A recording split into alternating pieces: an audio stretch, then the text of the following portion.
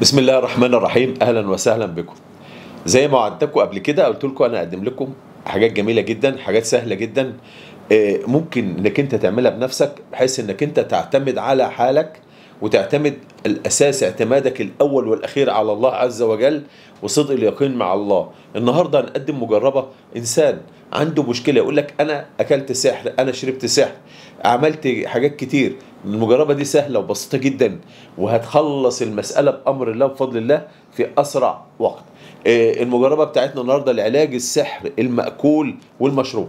يا جماعة بعض الناس بيعرضوا الناس لمشاكل كبيرة جدا في موضوع السحر المأكول والمشروب ويقول له لا هدي لك كذا لا هعمل كذا وبيدوا له مواد إحنا اتكلمنا عنها قبل كده آه، يعني زي حب الملوك زي كذا زي أمور كتيرة جدا ودي بتسبب مشاكل خطيرة ممكن أحيانا بتؤدي إلى حدوث نزف في المعدة أو في الجهاز الهضمي وبعد ما ينزل إفرازات أعزكم الله يقول له هي ده السحر اللي كان موجود. لا السحر هو بيبقى عبارة عن طاقة موجودة بشكل معين مش مجالنا إن إحنا نشرحها دلوقتي تاخد وقت كبير. فإحنا نتكلم عن علاج السحر المأكول والمشروب والمكونات بتاعتنا. أول مكون اللي هو عسل النحل الله عز وجل في كتابه العزيز قال فيه شفاء للناس. شفاء شفاء يبقى شفاء عام. أنت لما زي ما توجهه هتجد فيه الشفاء. تاني مكون اللي هو ال- الحلتيت الحالتيت يا جماعة برضو في هنا أمور لو أنت أي شكل أي مادة أي عنصر أنت مستغربه وعاوز تسأل عنه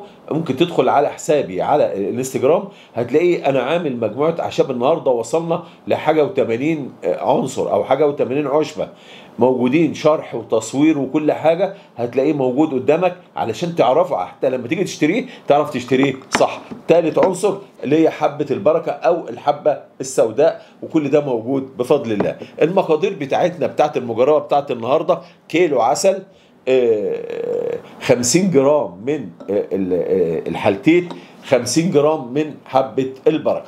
حبة البركة أنا أطحنها أطحنها انعمها شوية بس المطحنة تكون باردة وما خليهاش تسخن عليها. أخبطها شوية شوية شوية شوية بالراحة لأن لو سخنت بت...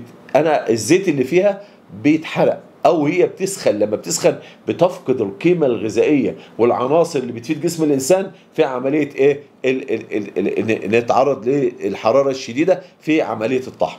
بعد ما أطحن الاثنين مع بعض بجيب كيلو العسل بخف منه شوية زي كده وأضيف المقدار عليه وأقلبه. طيب بعد ما أنا خلصت عملت المكونات اللي أنا هشتغل عليها هبدأ هنا أجيب برطمان العسل أو الخلطة اللي أنا عملتها مش شرط تعملها في البرطمان ممكن تعملها في اناء وبعد كده تفرغها تاني حتى عشان يبقى فيه سهل عملية التقليب. وبفتح الوعاء اللي فيه المكون بتاعي اللي أنا قلته ده كله. وبضعه أمامي كده وأول ما ببدأ أول حاجة بقرأ الفاتحة سبع مرات وآية الكرسي سبع مرات سورة ياسين مرة واحدة الصفات مرة واحدة الجن مرة واحدة سورة الإخلاص والفلق والناس كل واحدة فيهم 15 مرة. هي مرة واحدة اللي بقرأ على المكون اللي أنا عملته اللي هو بتاع العلاج. أصبح هو مرئي. يعني أنا عملته ورقيته علشان ما أروحش لحد يقول لي الكيلو مش عارف بكام ألف جنيه والكيلو بكذا أنت عملته ببيتك وبحالك ومع نفسك ومع ربك. خلاص؟ بعد ما أخلص يعني أنا وأنا بقرأ يا جماعة أحاول دايما أقلب المكون ويكون ال- الإناء أقرب ما يكون إلى فمي يعني. وأكون طبعا متمضمض وغاسل سناني كويس وكون على وضوء وفي اتجاه القبله زي ما قلنا ونلبس لبس يعني كل لابسين لبس الصلاة. يعني بالنسبة لبناتنا تكون لابسة الإسدال بتاع الصلاه بتاع كانك بتصلي بالظبط. يا ده ده عباده أنت بتك... أنت بتطلب من الله سبحانه وتعالى. المهم الشافي هو الله. فأنا بطلب المدد والعون من الله عز وجل. خلاص؟ يبقى بعد ما بخلص كده يبقى أنا باخده. المكون بتاعي بعد ما برقيه باخد منه ملعقة يوميا ملعقة صغيرة تكون مليانة كده على نصف كوب ماء يوميا لم... ل... ل... لغ- لحد ما اخلصه ما حددش مدة يعني اخلص الكيلو الكيلو الواحد. لشخص واحد. يوميا على الريق بضعه في نصف كوب ماء معلقة صغيرة أو يعني نصف ملعقة كبيرة وأقلبه كويس وأشربه على الريق. ما باكلش حاجة بعد منه لفترة إيه؟ نصف ساعة. ولازم يا جماعة أنا عشان أشفى من الأمراض ال- ال- ال- المؤذية ديت لازم يكون أكثر أكثر من العبادات وأكثر من الطاعات وأتجنب المعاصي أتجنب الأمور اللي فيها خروج عن ال ال يعني عن ديني وتعليم تعليم ربنا سبحانه وتعالى وتعليم الله عز وجل.